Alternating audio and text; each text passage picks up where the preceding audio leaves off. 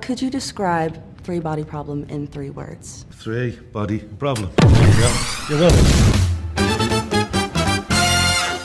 With this show, with the science fiction of this show, one of the things with science fiction, it gives us a chance to pull back from from ourselves, from our day to day soap drama or whatever it may be, just contemporary family dramas. We have this existential threat, mm. which is going to affect all of humanity. And the choices that we make is it going to, as you were saying earlier on about the divisions? Yeah. Because that's going to bring the house of cards down. We're all finished if we're divided.